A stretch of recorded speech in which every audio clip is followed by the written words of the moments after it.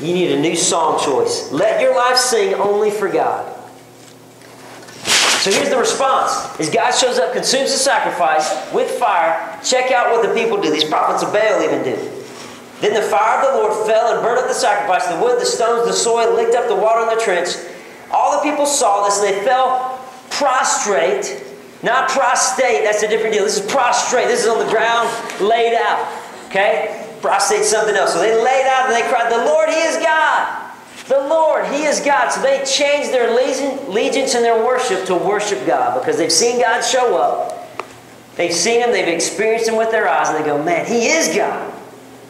And now they're singing a new song with their life. They're singing a new song with their mouth. So that's part of the change. It's not just a heart change.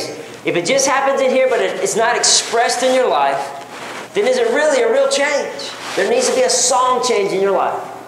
And I'm talking about not just singing songs up here that we sang this morning, but the songs you sing with your actions, your attitude, with everything you have. What kind of songs are you singing with your life?